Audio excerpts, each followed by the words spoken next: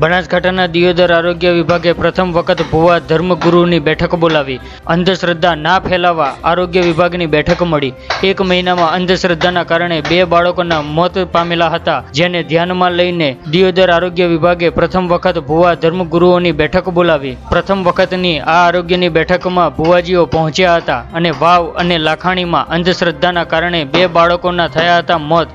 અંધશ્રદ્ધા રોકવા આરોગ્ય વિભાગની અનોખી પહેલ